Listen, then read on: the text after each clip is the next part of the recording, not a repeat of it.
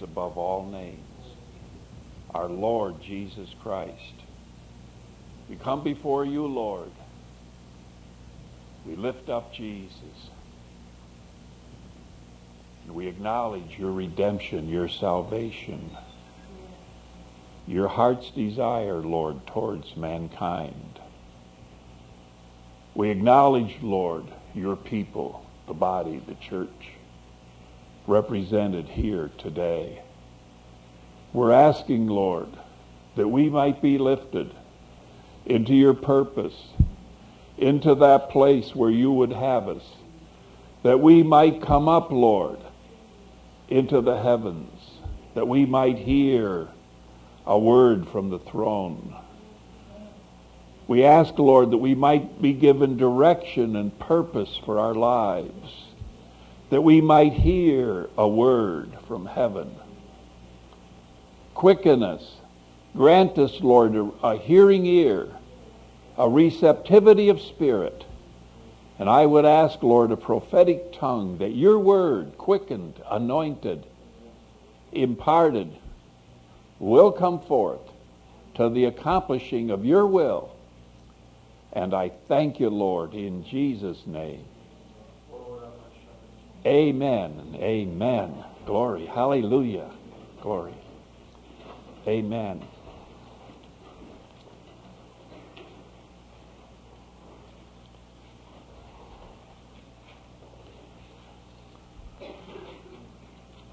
Glory. Hallelujah. I was privileged back in the 1950s to have three spiritual fathers. Each one was very different. There was Walter Beuttler. You know, probably know the name because his notes are available. But Walter Beuttler had a unique walk with the Lord. He had a ministry that was probably 95% overseas. He traveled extensively, but always led by the Spirit. He had a unique ability to walk in the Spirit. And I was privileged to sit under his ministry, and we would be in the classroom. And all at once there'd be a touch of the presence of the Lord, and he would stop. Spoke with a fairly heavy German accent. He would stop and he'd say, Lord, you're here. Lord, we just want to let you know that we know that you're here. And Lord, we like it. And then he'd wait a minute, then he'd start. Within a few minutes, that room would be engulfed with the presence of the Lord and the Spirit would begin to move. And that would happen again and again. But his life was committed to cultivating the presence of the Lord, a receptivity, an ability to hear. Tremendously impacted, affected my life. There was Ivan Spencer. And Ivan Spencer had a visitation, I would say a major visitation from the Lord concerning the end time. And there was imparted into his being a sense of the last days that there was a calling on his life to prepare a people for the purposes of the Lord for the end time. That visitation came in 1924 while he was walking in a snowstorm. And I happened to be born in 1924. So two things happened that year. so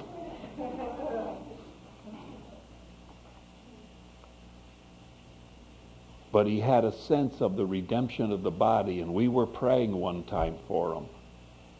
And a very clear word came from the Lord that he would not see that which we was hoping for, the redemption, the present living redemption of his body on this side of the grave, that he would not see it, but his children would. And I believe I'm one of those children. And the Lord is saying much today about the redemption of the body for those that have an ear to hear. There's a lot being said. We're living in that time frame. If you're listening, you're going to hear something about the redemption of the body, longevity of life. There was an impartation my, into my life concerning the last days, the end time. And then there was John Wright Follette. I met him in a very unusual way. In fact, I was sent to his room to fix an outlet. And when he opened the door, he looked and he said, "Oh, there you are." Gave me a big hug as if he as if he was waiting for me or knew who I was. And something clicked. And he became a father, and I was able to visit his home. And I've often said this to people. If you had been able to go into his home and spend three days, if he never said a word to you, you would have come out absolutely changed and transformed with a hunger and desire for the Lord such as you never had before because he lived it.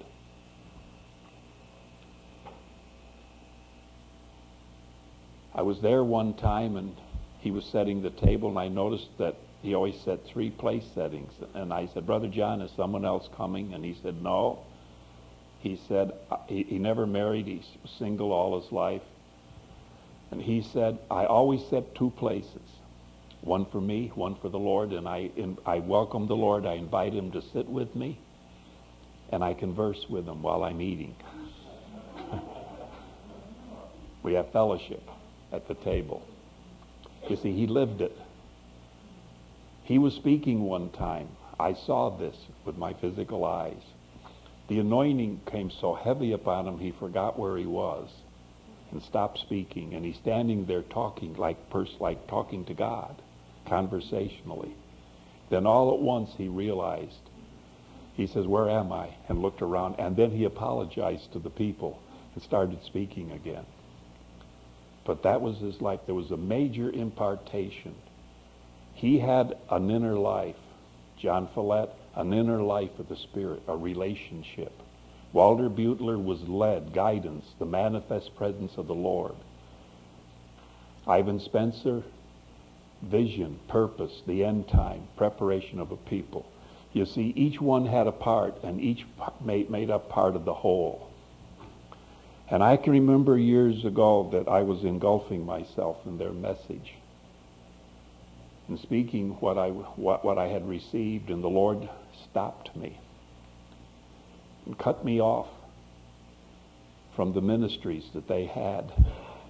And I knew that those things had to become personalized. In fact, the Secret of the Stairs book, when that vision came, I was alone praying, and I was, as it were, translated into the Song of Solomon. I became the Song of Solomon. And I felt, I, I became each person within the Song of Solomon, I experienced and felt what they felt. And the book came out of that experience. And when I finished, I said, now I've got something to speak.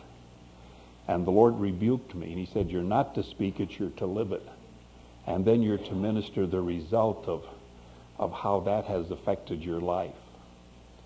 You see, ministry is, Paul said, the ministry works, works life in you but death in me. One who is truly walking with the Lord feeds on the Lord and then others feed on that person. And it takes the life right out of you.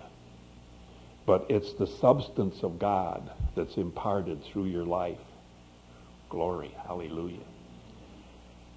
We're living in a very unique time. You won't need to turn to this, but there's a verse, I've used it here many times. It's in Genesis concerning Adam and Eve after the transgression. The word is this. They heard the voice of the Lord walking in the garden. Not while they were walking in the garden they heard the voice, but they heard the voice walking. That is absolutely, only God could say that, and that is profound. That tells us two things. They heard the voice walking. And the voices don't walk, but this one did. Because there's a reason. See, God has something to say. He desires to communicate, but he's walking. That means what he said yesterday is not sufficient for today. There's a fresh word, a fresh revelation. There's something that goes beyond. And I received from John Follette, Walter Beuttler, Ivan Spencer, but I had to go beyond. That had to come in to my being, be assimilated. I gained. They spent a lifetime, and I received an impartation. But then it had to go further because the Lord is what? He's walking. There's a fresh word. Much of my praying has to do with a fresh word from the Lord. Lord, what are you saying? What's the word for today? And I pray that. Now, I want to be real careful how I say this because I'm not talking about me. But I don't know how else to say it. But I, I, I'm not talking about myself. But I traveled. I got in, I think, about 75,000 air miles last year in ministry. I'm not going to do that again. But I did it. And all over the country. And everywhere I would go, I'm hearing something. People come to me. It's happened the Northwest, in Southern California, and Texas, and wherever I've been. People come to me. They say, the Lord is speaking things to us, is telling us things. And we're going from church to church to church trying to get a confirmation, and we're not hearing. And we were beginning to wonder if there was something wrong with us. I could, this is almost like, like, I mean, I've heard this dozens of times, all over the country. We've gone from church to church to church. And we were beginning to wonder if something's wrong with us. And we come to your meeting and we hear the same thing that the Lord is speaking to us. Now that puts that scares me because that puts a responsibility. But also it's a confirmation because I'm asking the Lord for what? A present word. See, a present word. Not what was for yesterday, not the message of yesterday, the good old days, but a present word because the Lord is walking. He's going further. He's moving on. So there's a fresh word. And we are in a time of transition, of major transition. And right there, uh, I'll, I'll be back. This is the first time I've been at Pinecrest since last June. But I'll be back now probably fairly often. So, I don't know. But, um, so I'm not going to get said everything, but that I'm feeling. We're living in a time of transition. The church relates to grace, salvation. The message of the church is to whomsoever will. The goal of the church is heaven the goal, heaven. Be absent from the body, to be present. The kingdom is quite different. The church, grace. The kingdom, government.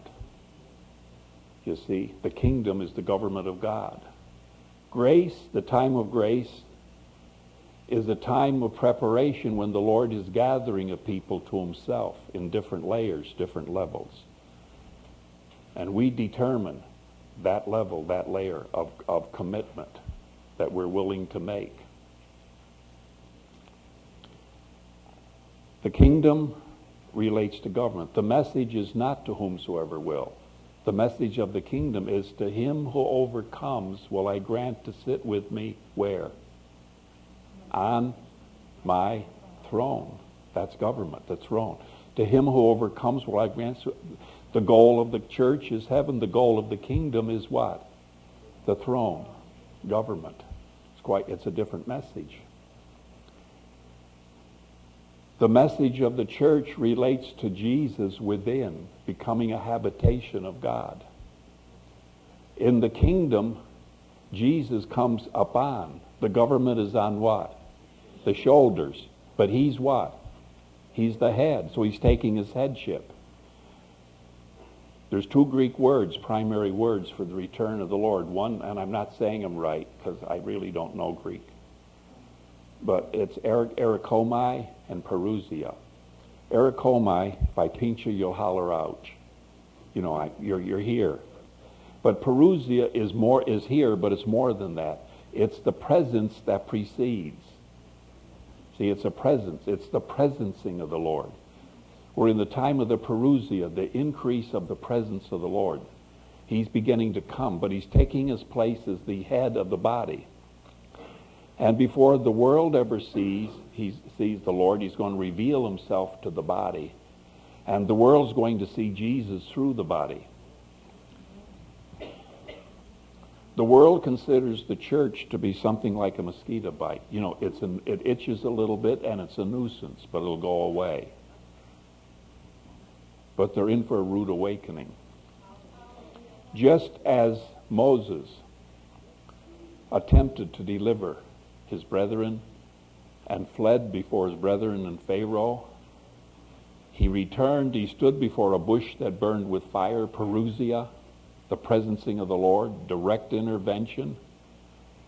And he went back empowered. And this time, the Lord's people were brought out, and it was Pharaoh that trembled. And the world will yet tremble before the church. Glory. Hmm. See, it's going to happen.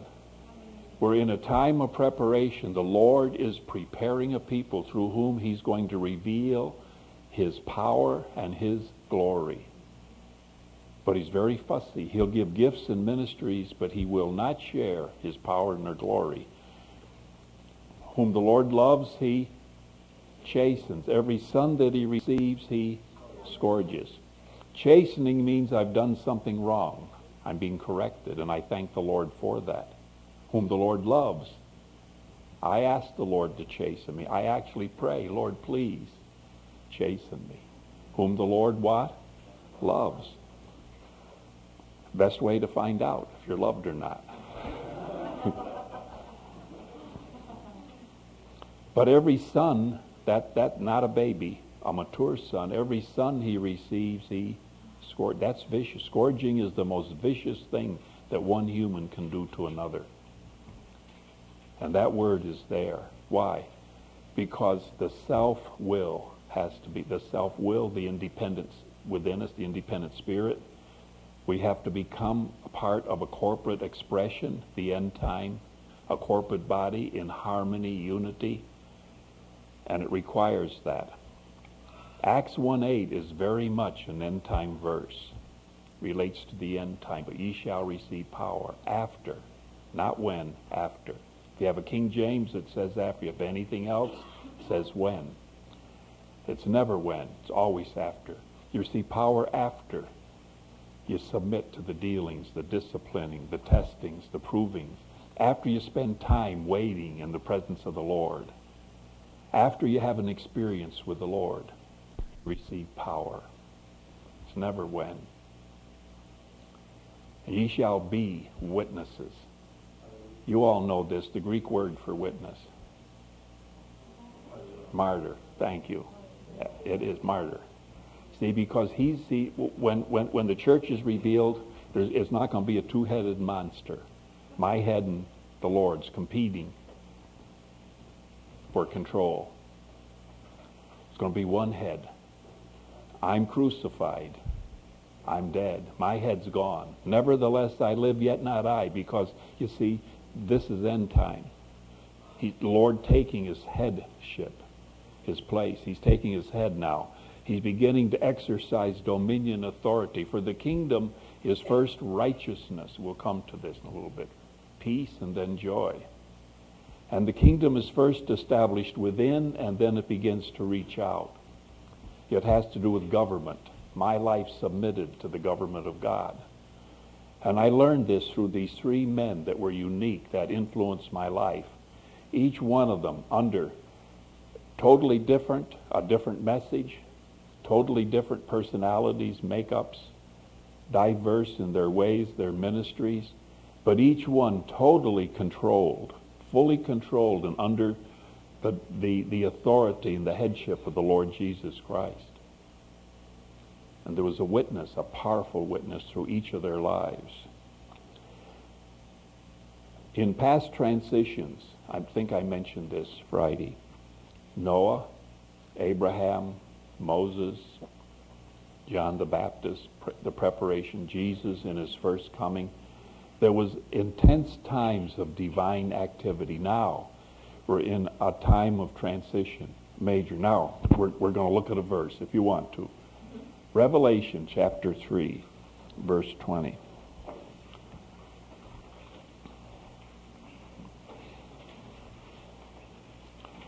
I stand at the door. A door is a place that goes from one place, of course, into a new, another. And each one of us has a room, a spiritual room that we live in. We become very comfortable with the furniture of that room, the way we meet the Lord, the way the Lord responds, how we live our lives both spiritually and and and the outworking of our lives in this world. There, there, there, there's furniture that we understand, that we relate to. But the Lord desires to take us higher into something different. And the treasures are in darkness. We don't fully understand. We have to move in by faith. That is in darkness. And then it begins to unfold. And because we're so comfortable with the past, there are many that will not transition from the church age into the kingdom because see the message the workings the dealings are quite different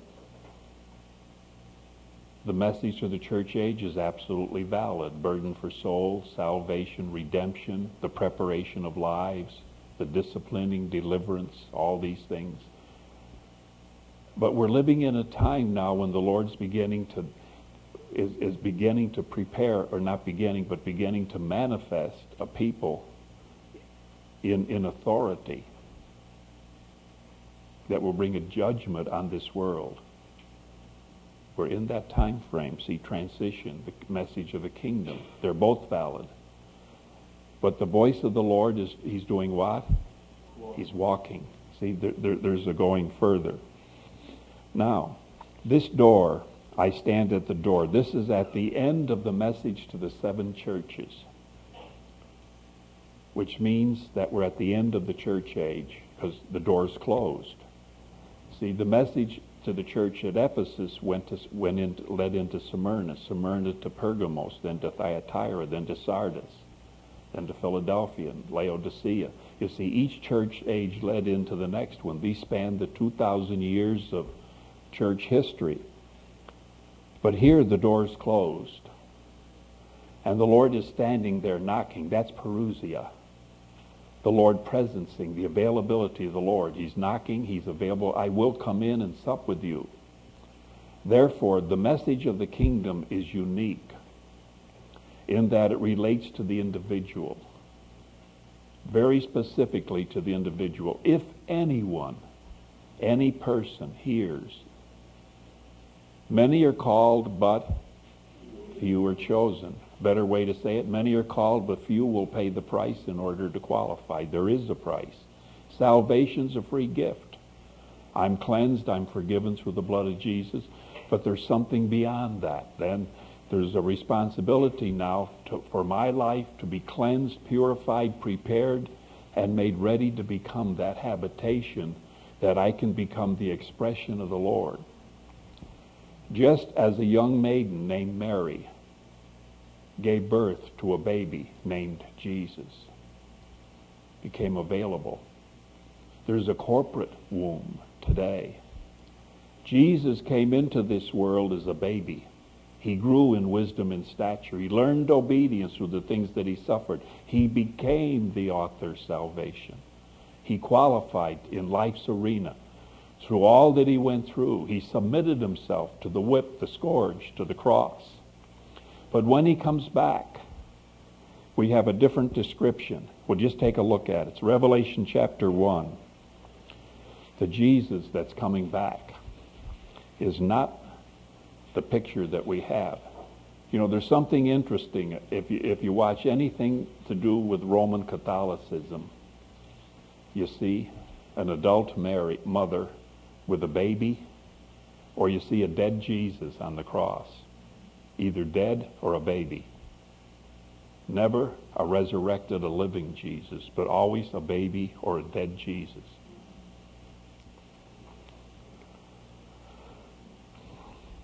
Revelation chapter 1, verse 14. Well, wait, let me back up, verse 12. I turned to see the voice that spoke with me. Being turned, I saw seven golden candlesticks. That's the church, the church age, all that pertains to redemption. In the midst of the seven candlesticks, one like unto the Son of Man, clothed with a garment down to the foot. Now, I've said this in churches and gotten frowned at, but that's all right, because I don't mind. See, he's in the midst of the church. He's got a garment from his what? His neck to his feet. That is the church. He's in the midst, but see, he's the head, the church is the body, but there's a garment that's covered. The body's covered. See, the world does not realize or recognize what's going on. They don't realize nor recognize what's about to happen. The Lord's not going to sneak the church out of here. He's going to empower the church to confront the world that's persecuted the church for 2,000 years. But the church today is covered from the neck to the feet. Now, a statement. See, the body's covered. Therefore, what the Lord is doing within the church, within our lives, is more important than what we're doing out there. A lot of people don't like that statement, but it's a very true one. See, what we're becoming is more important than what we're doing, because what we're doing is a product of what we are. You can't give what you don't have. Amen. Now, verse 14. His head, his hair were white like wool. That's full maturity. Not a little baby being born out of a young maiden.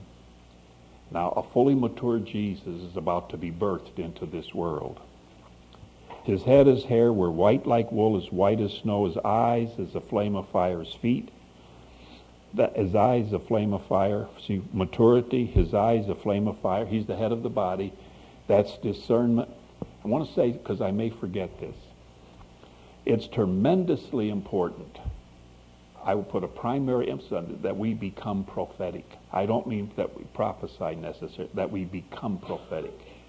By being prophetic, we become sensitive to the kingdom of God, to the purpose, the will, the presence of God, the anointing, the enabling, the presencing. See, we become sensitive to, to, to, to, to spirituals, to the living word, the quickened word we, we, we begin to hear by revelation what the Lord is speaking because we're prophetic, we're available. It has nothing to do with prophesying. It has to do with a sensitivity of being that's cultivated. It has to be cultivated and developed, and you've got to go after it. Covet earnestly the best gift. If you want to have a gift of healing, go after it, and you'll get it. It says, covet earnestly. Go after it. The presence of the Lord, if you want to be sensitive to the voice of the Lord, go after it. Covet earnestly. Intensely desire. Go after it. His eyes is a flame of fire. That's discernment. You're going to begin to see, to understand things. You're, you're, you're going to penetrate the surface into the real thing that's behind the surface. His feet like unto fine brass as they burned in a furnace. That's the dealing of God. The workings, the preparation. The feet move the body. And there are people that have been prepared, disciplined, trained by the Lord. That, that's going to move the purpose of the Lord in the earth in this day. Feet that have been formed in fire, that burns away the dross, the hay, the wood, the stubble. His voice is the sound of what? Many waters. That's a corporate voice speaking, all saying the same thing in unity. See, like it's like a mighty Niagara. That's the power of God released through the body in this day. It's a powerful thing. And the Lord is forming a corporate womb that's going to, that's going to birth the Lord into the affairs of mankind in this day just as Mary birthed Jesus into the world of that day. There's a corporate womb being formed today that will birth the Lord. The sound of many waters, that corporate Jesus. The works that I do, you will do also. Why? Because he's taking his headship. In each time of intervention, there was tremendous divine activity. In this time of intervention, there will be tremendous activity, but no more Benny Hinn's, Kathryn Kuhlman's, Oral Roberts the Lord dealt with me to say this, and I decided I wasn't going to say it, and I got rebuked by the Lord and dealt with, and the Lord gave me a, a, scripture reference. I didn't know what it was. I looked it up, and it said something like this Abraham went out not knowing where he was going. And this is the statement. The greatest healing movement this world has ever seen is about to begin to be released but it's coming through common, simple, everyday people. Not the pulpit. See, the, the body, the head of the Lord is being joined not to the pulpit. That's the church age. Everything relates around the pulpit. But the anointing is moving from the pulpit into the body. The head's going to be joined on the body. And it's very simple, everyday people that are going to begin to be moved upon, empowered. Uh, people that are being re- prepared. That's why people are coming to me and saying, the Lord is telling us things. And we're trying to find confirmation. And what they're hearing is what I'm saying right now.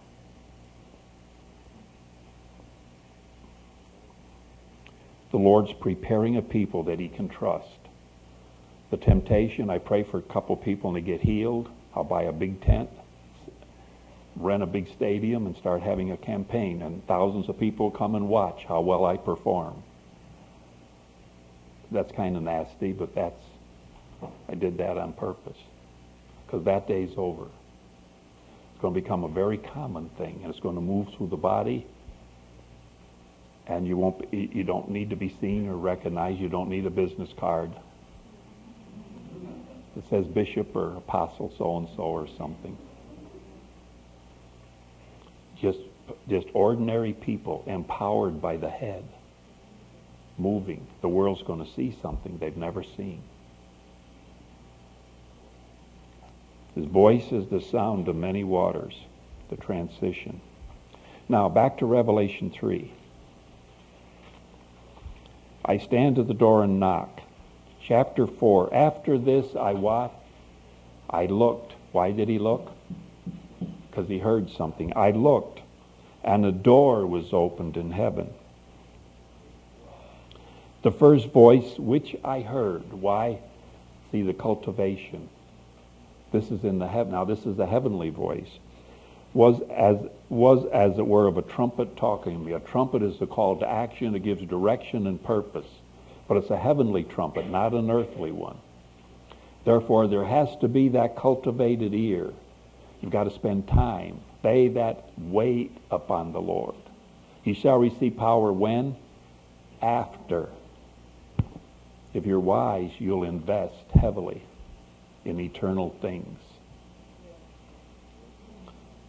The voice of a trumpet talking with me, which said, What? Come up. That's why I said, see, this is a present word. Come up. We're being called now into a higher realm, into this realm of spirituals. The church age, we're at an end. There's a, there's a new message, a new purpose, a people being prepared now for the direct intervention of the Lord, where he's going to begin to take his place, his head, manifestly. Come up, and I will show you things which must be hereafter. I've been praying this for at least three years. Very specifically, Lord, you said in your word, you will show me things which will be hereafter. Lord, I'm asking. You said you'll show me things. Not is there an antichrist or isn't there? Is there a rapture? Isn't there? And you know, is there a tribulation? None of none of that. That that's not what this is about. This is about the parousia, the presencing of the Lord, the preparation of a people, the functioning of the throne. See, it has to do with the throne of God functioning, not the negative, all the negative that we want to escape from and wonder about. but the positive, see, not the, the negative that people are so concerned about, but rather the throne of God and his purpose, his function, that we become a part of that. That our interest is not escaping the negative, but becoming a part of that which is positive and creative. The power of God moving within a people that are prepared and ready and that will give the glory to the Lord. Come up, and I will show thee things which must be hereafter. And immediately I was in the Spirit. See, we're not quite ready for that. That means there's been an intense preparation. And behold, a throne. The church, grace. The kingdom, what? A throne, government. To him that overcometh will I grant to sit with me in my throne. That's not everyone. Overcoming is not that I've done some great thing. Overcoming simply means that I, in my will and heart, have put the Lord first. I may fail. I'll be chastened and corrected, and I probably learn more through what I've done wrong than what I've done right.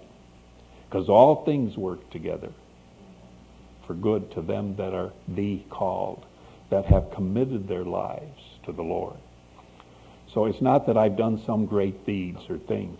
It's that my heart is in a right relationship. My life is committed. I can remember John Follette praying something like this Lord, I mean, I heard this. I'm just, this is a direct quote from what I heard. Lord, I'm asking your very best, whatever that means, wherever it leads. I'm asking your very best. And Lord, when I object or protest, don't pay any attention. Amen. You see, that's overcoming because we're going to. We're, we are going to struggle. But birthing is a struggle. Immediately I was in the Spirit, and behold, a throne. Now, round about the throne were four and twenty seats. Round about were four and twenty seats. Verse 6, this is Revelation chapter 4. And before the throne there was a sea of glass like unto crystal. In the midst of the throne and round about the throne were four beasts. Now, Revelation chapter 5 verse 9.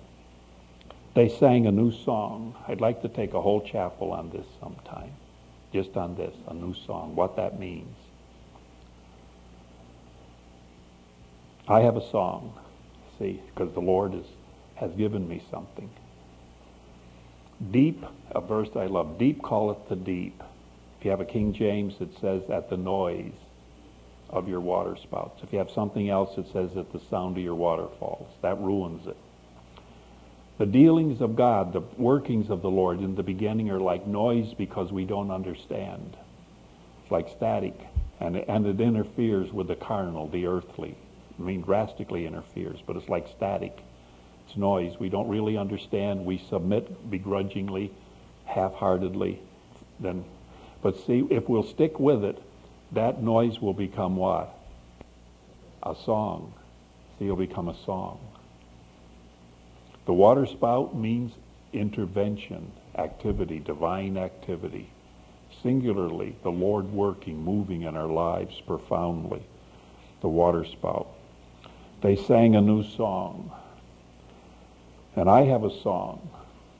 I mentioned it to somebody the other the other other evening when I came here. I first came to Pinecrest. I had a one year. These buildings had been vacant for six years. I had a one year lease. One year lease. The buildings were stripped and empty. I was here. I had not one penny in this world. I had no resources, no money, but I was the weekend pastor at a little church just outside of Binghamton, New York. I had to drive 120 miles down and 120 miles back to here, and my pay was $25 a week. I had to buy gas to go down and back and support a family. and try to start a ministry here, a one-year lease with three empty buildings and $25 a week income. And that became what you see today. I've got a song. See? Glory. Mm. See? See, I've got, there, there's a, a life, a history, sacrifice, obedience, blessings. You see, there's something involved in all that. See, that became this from absolutely nothing. Now I'm starting all over again. Got a little apartment in Washington, D.C.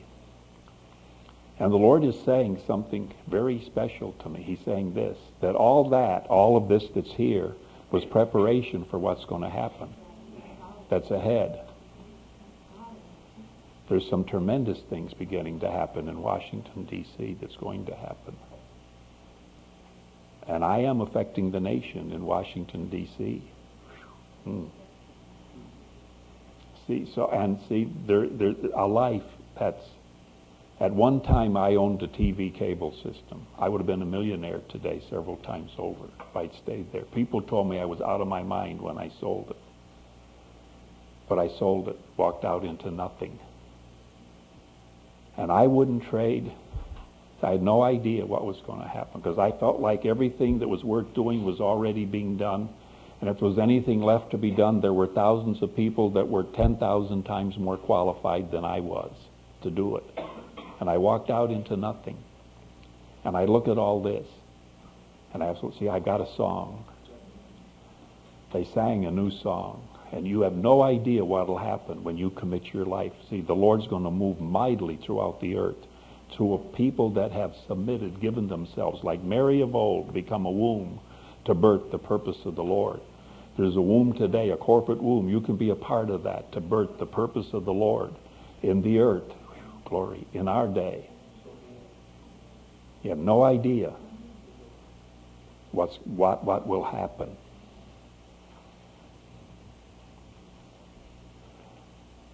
Thou hast redeemed us to God by thy blood are every kindred, tongue, people, and nation, that's the corporate body, and hath made us. Now this is 24 elders and four living creatures.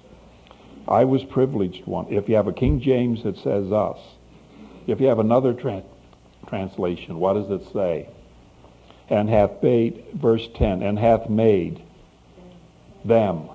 Because there's four living, see, that's the human mind coming in. Because four living creatures, 24 elders, so, but I was I was in Boston a good many years ago, and I was privileged to talk to a man that I was told was the leading scholar in the world on biblical text. And I said, Revelation chapter 5, 9 and 10, us or them?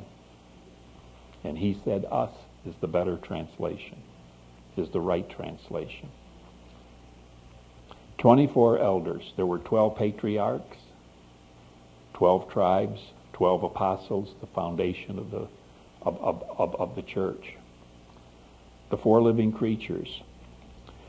And I'm not going to get into this today because it take a whole chapel. And I'll try to start here another time. The face of a lion, a calf, a man, an eagle, these four living creatures, you see, it's the four sides of spiritual maturity. You've all heard of the four square church. It's the four sides. The lion, authority. The calf, submission. There's, there's more devastated Christians in this world than you can imagine. I run into them all the time. They're absolutely devastated by, by, by ministers exercising authority that have never been broken, that have no brokenness. Authority is only effective in the Lord when we've been dealt with and broken. The calf, submission, helplessness. It's the two sides of the same coin. Authority, but brokenness. Not vindictive authority, defending a position, a title in the pulpit. The lion, authority, the calf, submission, the man, relationship, fellowship, the eagle, spirituality. The four sides of maturity. But these are in the midst of the throne and there's a sea of glass. Before the throne there was a sea of glass like unto crystal. And I was privileged once to stand before the Lord, before his throne. The sea of glass, transparent. There's something where every, everything becomes transparent. And what I felt, what I saw, there is no language, no words that it'd be impossible to ever say. See, Paul said things unspeakable, and I understand you, you can't. There isn't any, isn't any way that it can be said.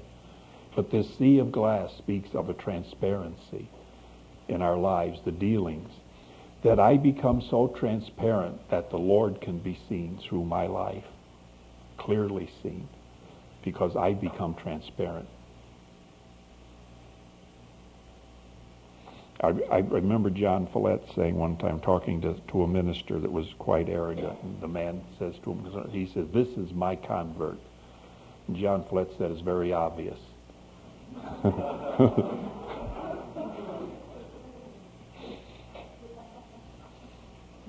he, he, he, was an iconoclast. He was sort of an, that's an idol breaker.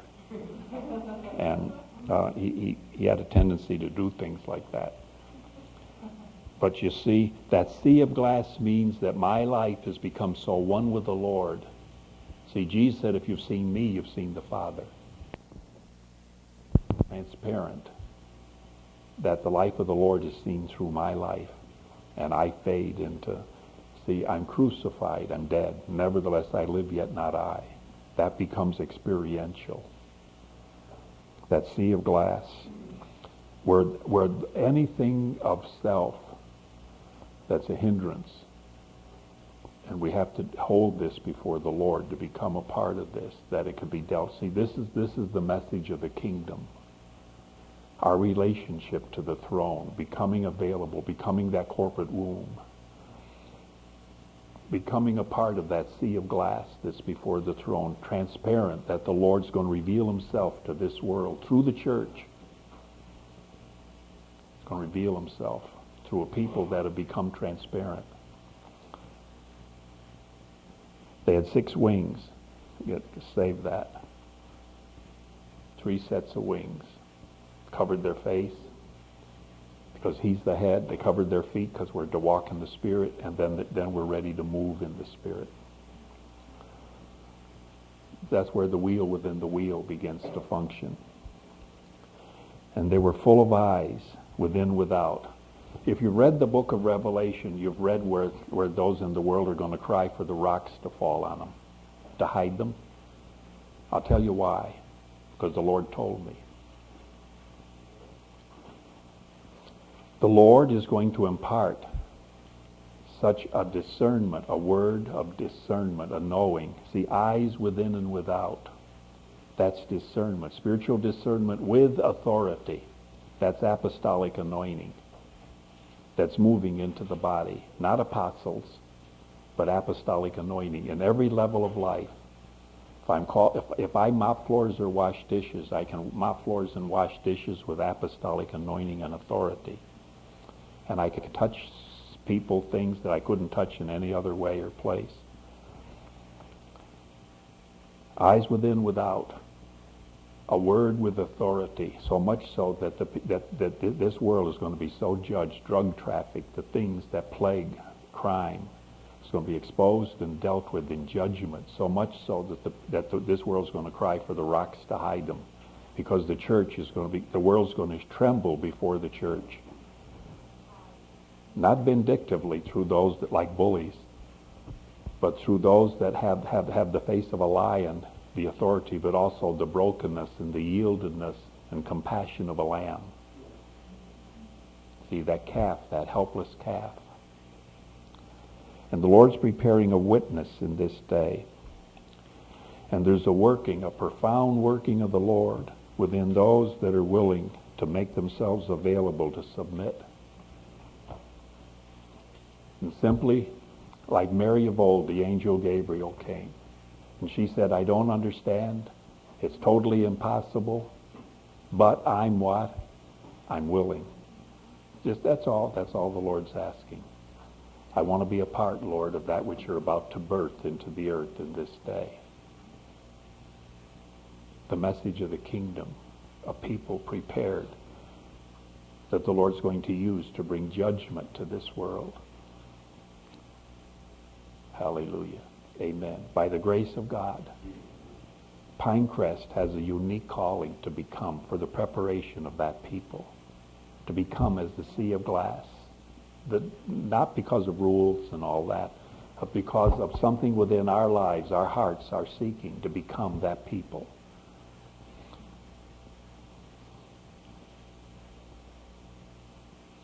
To be set apart as unto the Lord. Of primary importance. See, immediately I was in the Spirit. It doesn't take a whole song service, you know, to get us lined up. Amen. Okay, let's all stand.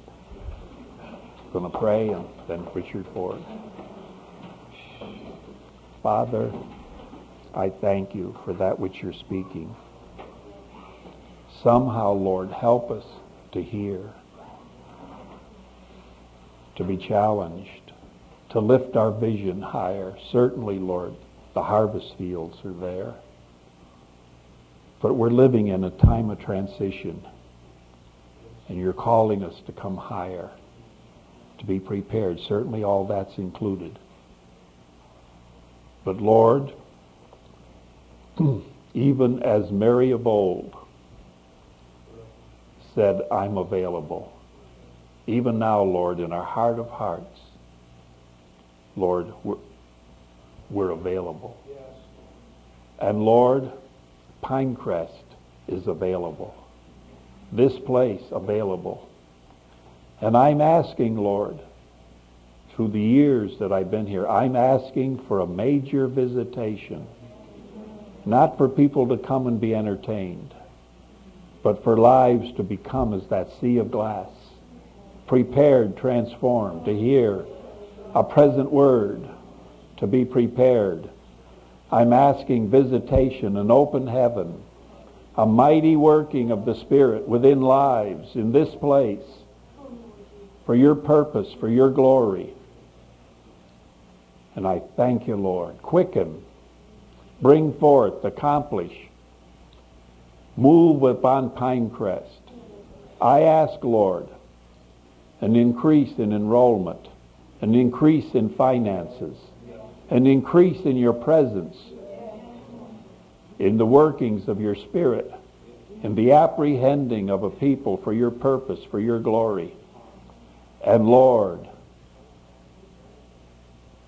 I hold all this before you, asking a special blessing by Dr. Ronald Taylor, and all those that relate that are under him in Pinecrest. A special blessing on the leadership of Pinecrest. Your approbation, your favor flowing down, Lord. In every office, Dr. Ford is the dean, the teachers, all those in places of responsibility, the staff, the students. A mighty moving, Lord, of your grace within and upon this place a witness in the earth in this day of a people committed, set apart, sanctified. And I thank you, Lord. I thank you, Lord, in Jesus' name. Amen and amen. Glory. Thank you, Lord. Amen. Dr. Ford.